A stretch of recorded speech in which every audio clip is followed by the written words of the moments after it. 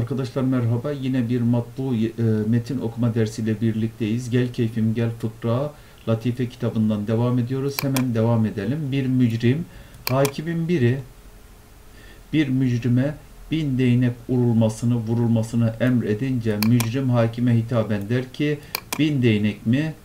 Ya sen şimdiye kadar ömründe dayak yememişsin yahut sayı bilmiyorsun.